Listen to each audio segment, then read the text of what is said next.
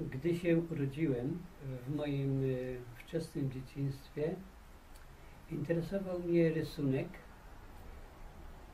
malarstwo, ale właściwie plama kolorystyczna. I to był mój taki język, którym się dzieliłem z moimi mm, e, najbliższymi, z tym, co widzę dookoła siebie w swoim środowisku, w swoim świecie. I tak zaczęło się moje e, rysowanie, malowanie, e, kształtowanie jakiejś bryły, czyli, czyli rzeźba. I to malowanie towarzyszy mi przez całe życie.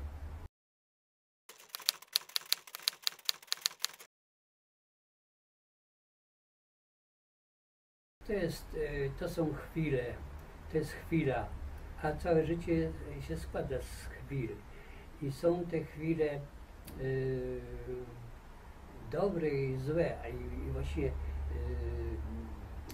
jeżeli chodzi o chwile, y, które byśmy mogli nazwać y, natchnieniem, to to jest myślenie twórcze, w którym toczy się y, dyskusja z samym sobą w tworzeniu. To jest natchnienie, to jest chęć wyrażania się mm, właśnie w innym języku.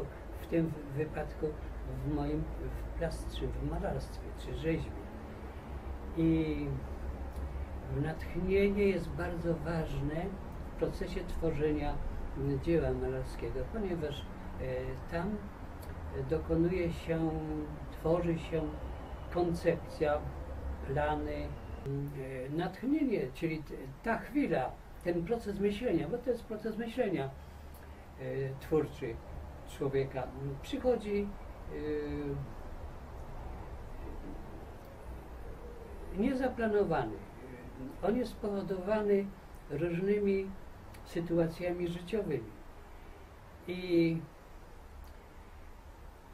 czasami y, ten moment w tym natchnieniu y, nie jest ważne y, nawet posiłek, jedzenie, a, a tworzenie i realizowanie tego, co się zamierza wykonać. Na przykład obraz lub o, rzeźbę.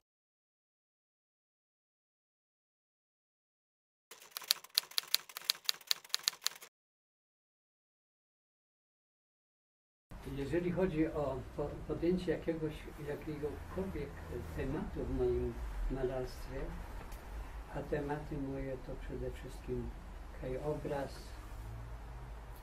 zjawiska e, przyrodnicze, to e, chęć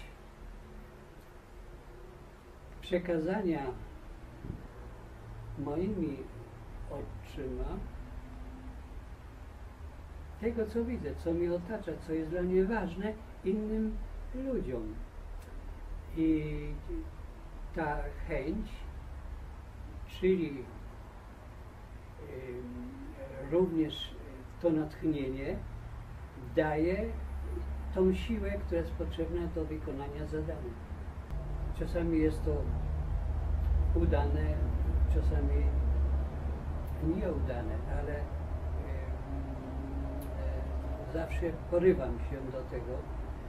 Zresztą w moich wypowiedziach takich malarskich, bo to jest język, którym się posługuję, e, zmieniałem ten język.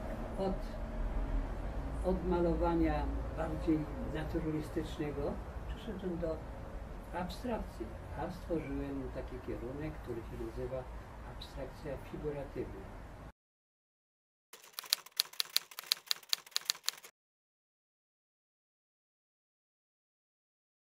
Nadzieja to takie pojęcie e, dosyć filozoficzne, psychologiczne, e, trudne, ale bardzo ważne e, w naszym życiu. Po prostu zawsze żyję nadzieją, że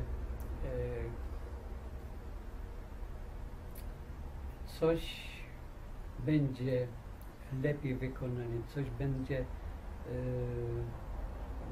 przyjemniejsze, pełniejsze.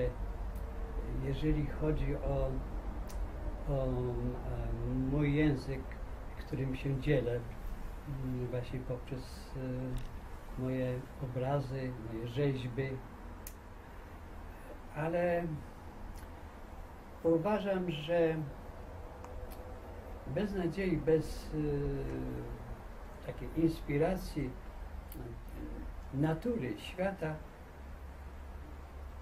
tego właściwie naturalnego y, żywiołu, jaki nas dookoła otacza, morza, chmury, słońce, deszcz, burza, y, nie byłoby chyba żadnej e, sztuki, żadnej wypowiedzi takiej artystycznej, bo to jest właściwie odbicie mm, nas, naszych doznań i, i ważne jest, żeby nigdy nadziei nie stracić, że, e, że tym, co robimy, robimy e, dobrze dla siebie, dla innych.